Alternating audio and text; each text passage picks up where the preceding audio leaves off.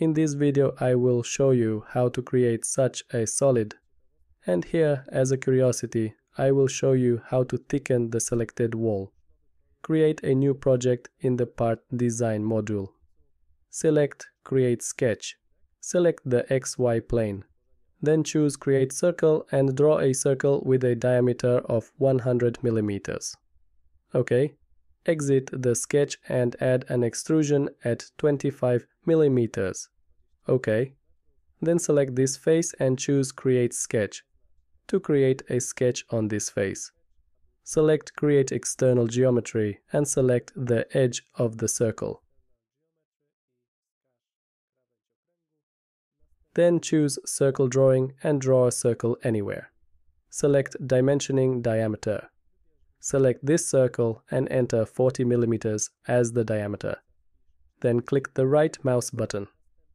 Select the center of this circle and the edge of this solid and choose Constraint Point onto Object Constraint. Then select this point, select the y-axis and select this constraint again. OK. Click Close to exit the sketch and add the pocket operation. And as a type, select Through All and click OK. Then select this edge and this edge and select Fillet.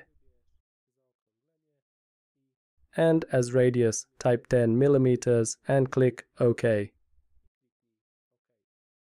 Now with the control key, select these two operations and based on these two operations, we will add a circular pattern. Select this operation. The correct axis is selected as the axis of the pattern. And here as the number of occurrences, enter 4 and click OK. Now select this face. Select the thickness command.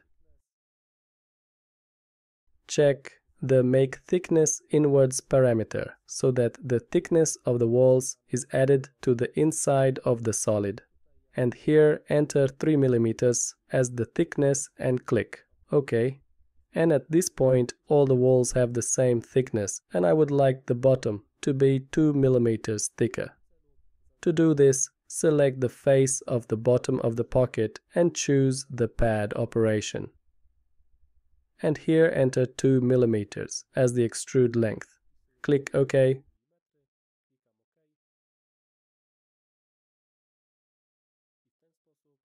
And in this way we added another 2 millimeters of material on the bottom of this model.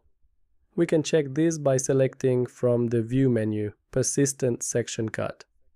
And here specify the cut relative to the y-axis. OK? and we can clearly see that the bottom is thicker.